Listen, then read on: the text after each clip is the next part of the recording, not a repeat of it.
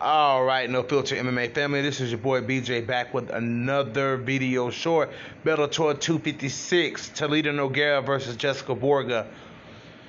I don't even know what to say about this fight.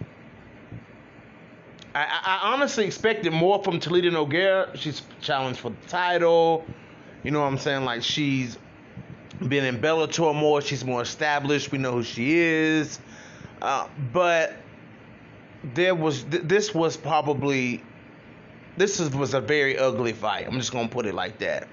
I mean, Talita Nogueira from punching in the back of the head, you know what I'm saying? Um, uh, getting a point deducted in round two to not having that killer instinct, not trying to really go for the finish. I mean, it was clear that Jessica Borga was just her level of experience and, and, and, and skill and fight IQ was very low. There were so many chances that if somebody with a decent striking game could have hit Talita Nogueira, she was literally standing right in front of Jessica Borga, and Jessica Borga didn't work a jab. The punches were not. I mean, the punches. She doesn't. She doesn't have a lot of power. You know what I'm saying? For me, you know, it felt like Jessica Borga was very amateurish. Like it was like she was very amateurish. You know what I'm saying? But Talita Nogueira got the win. A decision win. Um, I mean, going into the third round, it was one-one because Nogueira had won the second. I mean, it was it was a it. Whoever won the third round won the fight because of the point deduction of Nogueira in round two.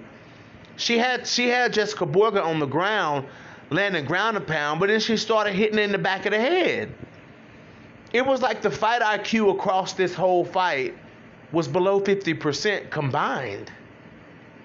I don't know what I don't I don't really know how else to put it. You know, it just it it it, it, it was a sloppy low IQ low fight IQ fight.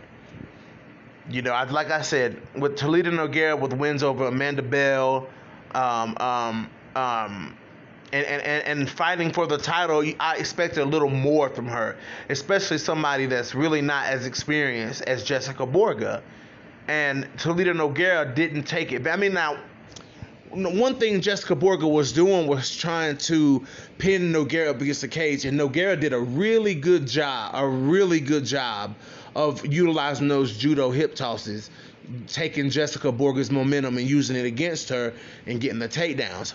Now, in round two, when they after the point deduction, they did stand back up, and when they stood back up, Talita Nogueira really was piecing up Jessica Borga, and then the fight went back to the ground.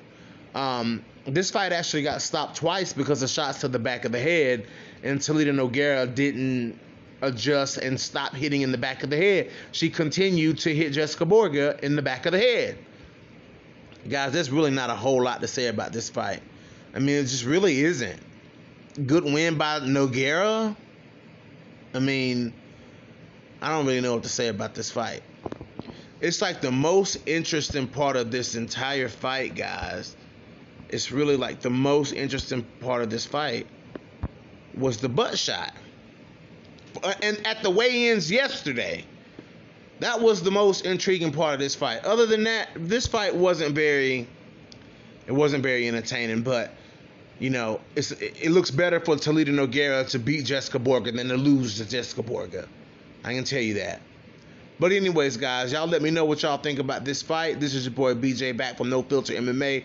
Drop those comments in the comment section. Hit that like button, hit that dislike button. If you guys haven't already, hit that subscribe button, and your boy is out.